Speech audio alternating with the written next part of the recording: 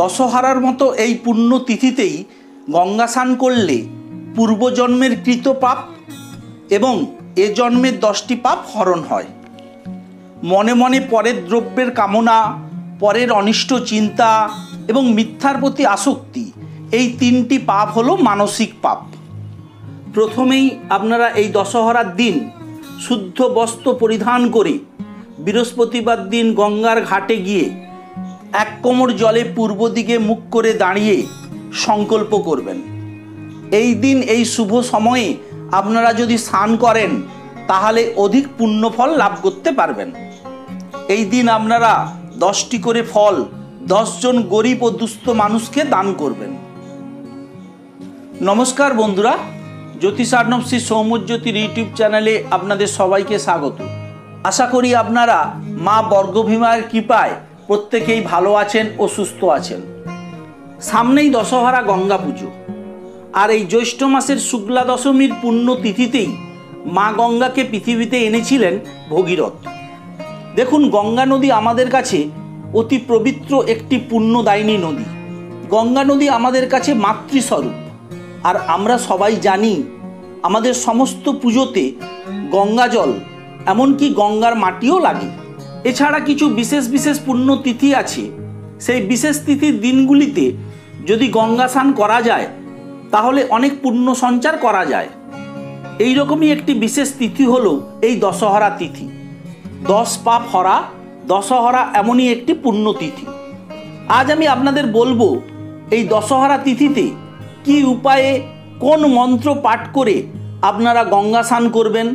এছাড়া এই দিন আর কি কি করলে আপনাদের পূর্ব দশ জন্মের কৃত পাপ এবং এ জন্মের দশটি পাপ হরণ হবে। আপনাদেরকে এও জানাব এই বছর এই দু হাজার বাইশ সালে কোন দিন কোন শুভ সময়ে আপনারা গঙ্গা স্নান করবেন। আর যারা গঙ্গা নদীতে স্নান করতে যেতে পারবেন না, এই দশহরার দিন আপনারা কীভাবে বাড়িতে স্নান করে এই পুণ্য অর্জন করবেন, চলুন জেনে নেওয়া যাক। দেখুন, আমি আগেই বলেছি গঙ্গা নদী হচ্ছে আমাদের কাছে একটি পবিত্র, সৌভাগ্যশালী নদী। আমরা এই গঙ্গাকে দেবীজ্ঞানে পুজো করি। আর্যদের প্রাচীন ধর্মগ্রন্থে ঋগ্বেদও আমরা এই গঙ্গা নামের উল্লেখ পাই। গঙ্গার জন্মকাহিনী নিয়ে বিভিন্ন ধরনের মত পাওয়া যায় আমাদের হিন্দু ধর্মগ্রন্থগুলিতে। একটি মত অনুযায়ী, ব্রহ্মার কমণ্ডুলা থেকে এক নারী মূর্তির স্বরূপ প্রাপ্ত হয় উনি গঙ্গা। আরেকটি মত অনুযায়ী ব্রহ্মা তার কমণ্ডলুর জল নিয়ে সশদ্ধ চিত্তে বিষ্ণুর পদ ধৌত করেছিলেন। সেই থেকেই গঙ্গার জন্ম। আর সব থেকে জনপ্রিয় মতটি হল, স্বর্গবাসিনী এই গঙ্গা দেবীকে মর্তে এনেছিলেন সগর রাজার বংশজ রাজা ভগীরথ। আমি আমার আগের ভিডিওতে এই মতটি সম্পর্কে আরও ডিটেলসে দিয়েছি, তাই এখানে আর সবিস্তারে বললাম না। আপনারা যারা পারবেন, আপনারা আমার আগের ভিডিওটি একটু দয়া করে দেখে নেবেন।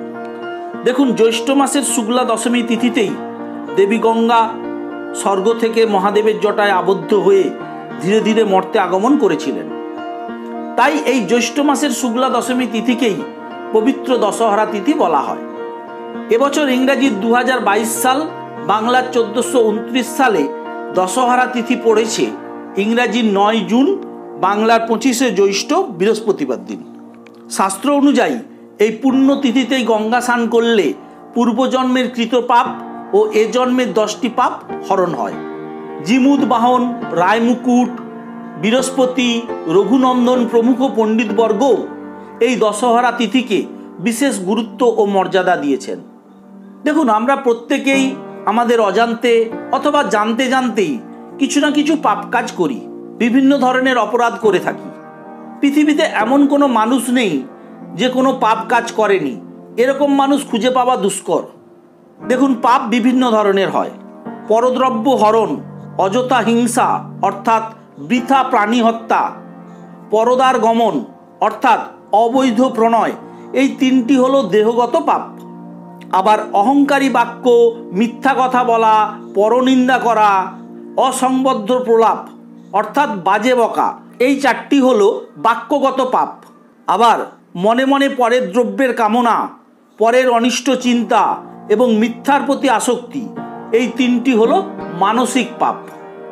তাহলে আপনারা বুঝতেই পারছেন আমরা প্রতি মুহূর্তে কত পাপ কাজ করে থাকি। এই সমস্ত পাপের ফল থেকে মুক্তি পাবো কি করে? আমাদের শাস্ত্রেই তার উল্লেখ আছে। প্রথমেই বলি, যতটা সম্ভব নিজেদেরকে চেষ্টা করতে হবে এই সমস্ত পাপ কাজগুলি না করার, এই সমস্ত পাপ কাজগুলি থেকে দূরে থাকার। তার সাথে সাথে আমরা যদি এই দশহরার মতো পবিত্র পুণ্য তিথিতে এই উপায়গুলি করি, তাহলে আমরা অনেকাংশ এই সমস্ত পাপ থেকে মুক্তি পাব। আমি আপনাদেরকে একদম সহজভাবে সহজ উপায় বলছি। ধৈর্য ধরে মন দিয়ে পুরো ভিডিওটি শুনবেন আর দশহরার দিন এই উপায়গুলি করবেন। সবার প্রথম আপনারা শুদ্ধ বস্ত্র পরিধান করে বৃহস্পতিবার দিন, অর্থাৎ নয় জুন গঙ্গার ঘাটে গিয়ে এক হাঁটু জলে নেমে পূর্ব দিকে মুখ করে দাঁড়িয়ে প্রথমেই সংকল্প করবেন। দেখুন, যে কোনো দৈব কাজ করার জন্য প্রথমেই সংকল্প করতে হয়। সংকল্প না করলে কোনো কাজে ফল লাভ হয় না। এবার বলি, সংকল্প কীভাবে করবেন? আমি আগেই বলেছি, আপনারা গঙ্গার জলে দাঁড়িয়ে পূর্ব দিকে মুখ করে ডান হাতে অল্প পরিমাণ গঙ্গা জল নিয়ে এই মন্ত্রটি বলবেন। আমি সংকল্প মন্ত্রটি বলছি, আপনারা মন দিয়ে শুনুন। আর আপনারা যারা পারবেন, নোট করে নিন। আপনারা যারা ব্রাহ্মণ, আপনারা প্রথমেই বলবেন, ওম বিষ্ণু, ওম তৎ তৎসদদ্য আর আপনারা যারা ব্রাহ্মণ নন, আপনারা বলবেন, শ্রী বিষ্ণু নম অদ্য জ্যৈষ্ঠ মাসি, শুক্লাপক্ষে দশমী তিথু, নারী হলে বলবেন, তিথা, অমুক গোত্র। অমুকের জায়গায় আপনারা যে যার গোত্র বলবেন, তারপর বলবেন ব্রাহ্মণ হলে। আপনার নাম যেমন অমুক দেব শর্মা বা অমুক দেব শর্মী। আর ব্রাহ্মণ না হলে বলবেন শ্রী অমুক দাসও বা শ্রী অমুক দাসী। অমুকের জায়গায় আপনি আপনার নাম বলবেন। এরপর বলবেন পূর্বান্নকৃত জ্ঞাত জ্ঞাত পাপ পাপ ক্ষয় কাম অরুণদয় সান মহং করিচ্ছে এরপর গঙ্গা জলে ডান হাতের কনিষ্ঠা বা বুড়ো আঙুল বা তর্জনী আঙুল দিয়ে চতুষ্কোণ মণ্ডল এঁকে, অর্থাৎ গঙ্গা জলের উপর চতুর্ভুজ একটি চিহ্ন এঁকে ওই আঙুল দিয়েই তার তীর্থজল মনে করে অঙ্কুশ মুদ্রায় জল শুদ্ধি করবেন।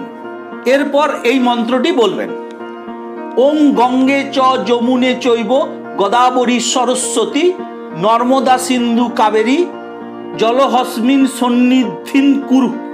তারপর হাতে সাদা রঙের যে কোনো ফুল নিয়ে হাত জড়ো করে বলবেন গঙ্গা দেবীর উদ্দেশ্যে এই মন্ত্রটি। ওং কুরুক্ষেত্র গয়া গঙ্গা প্রভাস পুষ্করাণী চ। তীর্থান্নে তানি পুণ্যান্নি প্রাতঃস্নানকালে ভবন্তি হ। এবার প্রথমে আপনারা ডান হাতের কনিষ্ঠা বা তর্জনী আঙুল দিয়ে চোখ, কান, নাক ও মুখমণ্ডল আচ্ছাদন করে পূর্ব দিকে মুখ করে তিনবার জলে ডুব দেবেন। তিনবার জলে ডুব দেবার পর আপনারা এই মন্ত্রটি বলবেন। ওং গঙ্গা গঙ্গেত্তি যোগ ব্রুয়াদ যোজ নানং শতৈরপি মুচ্যতে সর্বপাপেভ্য বিষ্ণু লোকং স্বগচ্ছতি। পাপহং পাপ কর্মাহং পাপাদ্মা পাপ সম্ভবত ত্রাহিমাং পুণ্ডরিকাক্ষং সর্বপাপ হরহরি। এরপর গঙ্গাদেবীর উদ্দেশ্যে প্রণাম করে বলবেন, ওং সদ্য পাতক সংহন্তি সদ্য দুঃখ বিনাশিনী, সুখদা মক্ষদা গঙ্গা, গঙ্গৈব পরমাঙ্গতি এরপর আপনারা গঙ্গা দেবীকে উদ্দেশ্য করে মনে মনে বলবেন মা আমার সর্বপাপ হরণ করে আমাকে রক্ষা করো। এবার আপনারা সাদা রঙের যে কোনো দশটি ফুল ও যে কোনো দশটি ফল গঙ্গা দেবীকে উৎসর্গ করে গঙ্গার জলে ভাসিয়ে দেবেন। গত বছর আপনারা অনেকেই জানতে চেয়েছিলেন, এই দশহরা পুজোর দিন দশটি ফল যে দেব, তা দশ রকমের না একই রকমের দশটি ফল? এক্ষেত্রে আমি বলব, দশ রকমের দশটি ফল হলে ভালো হয়। তবে তা না পেলে মোট দশটি ফল একই রকমের হলেও ক্ষতি নেই। তা আপনারা গঙ্গা দেবীকে এই দিন নিবেদন করবেন। এছাড়া এই দিন আপনারা গঙ্গার জলে দশটা ঘিয়ের প্রদীপ গঙ্গা দেবীর উদ্দেশ্যে জ্বালাবেন।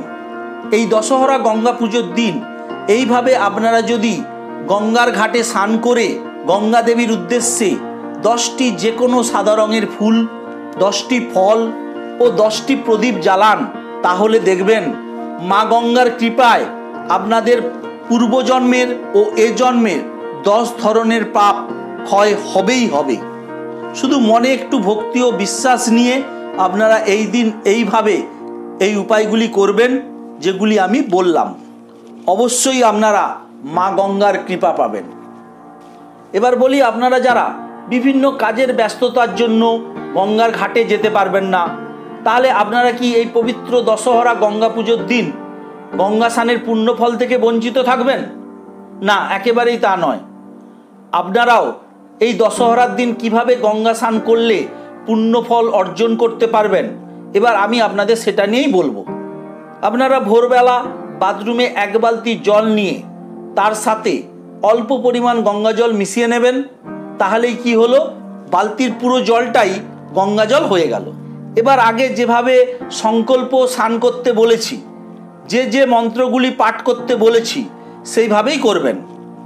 বালতির জলে তো আর ডুব দিতে পারবেন না আপনারা। তাই এই দিন মগে করে ওই বালতি থেকে জল তুলে নিয়ে তিনবার মাথায় জল ঢেলে দেবেন।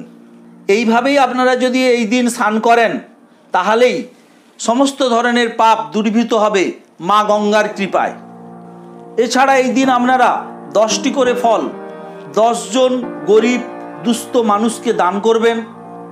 আর আপনাদের বাড়িতে যে ঠাকুর ঘর আছে, সেই ঠাকুর ঘরে ভগবানের সামনে মা গঙ্গাকে উদ্দেশ্য করে দশটি ঘিয়ের প্রদীপ জ্বালাবেন। এবার বলি সবচেয়ে গুরুত্বপূর্ণ একটি কথা। এই বছর এই দু হাজার বাইশ সালের এই নয় জুন, এই দশহরা গঙ্গা পুজোর দিন, কোন শুভ সময়ে আপনারা স্নান করবেন? নয় জুন বৃহস্পতিবার, ভোর চারটা একান্ন থেকে ভোর পাঁচটা পঁয়তাল্লিশ মিনিটের মধ্যে অথবা সকাল নটা একুশ থেকে বেলা এগারোটা ন মিনিটের মধ্যে আপনারা স্নান করবেন। এই দিন, এই শুভ সময়ে আপনারা যদি স্নান করেন, তাহলে অধিক পুণ্য ফল আপনারা লাভ করতে পারবেন।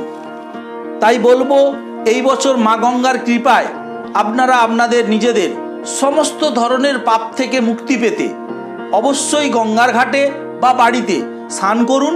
আমি যেভাবে বলেছি সেইভাবে। দেখবেন পূর্বজন্মের কৃত পাপ ও এ জন্মের আপনার সমস্ত পাপ হরণ করে নেবেন এই দশহরা পুজোর দিন মা গঙ্গা নিজেই। সবশেষে বলি, আপনাদের এই সম্পর্কিত কোনো যদি জিজ্ঞাসা থাকে, আপনারা অবশ্যই কমেন্ট করে জানাবেন। আমি চেষ্টা করব তার উত্তর দেওয়ার। আর আমার এই ভিডিওটি আপনাদের যদি ভালো লেগে থাকে, তাহলে অবশ্যই লাইক ও শেয়ার করবেন। আপনাদের চেনা পরিচিত বন্ধু বান্ধবদের আপনারা এটা পাঠাবেন যাতে তারাও এই ভিডিওটি শুনে উপকৃত হন। আর আপনারা যারা সাবস্ক্রাইব করেননি এখনও আপনাদেরকে অনুরোধ করব, প্লিজ আপনারা সাবস্ক্রাইব করুন আর পাশের বেল আইকনের অল বোতামটি ক্লিক করে দেন। তাহলে কি হবে? আমি যখনই কোনো ভিডিও আপলোড করব আমার ইউটিউব চ্যানেলে, সঙ্গে সঙ্গে তার নোটিফিকেশান আপনারা পেয়ে যাবেন।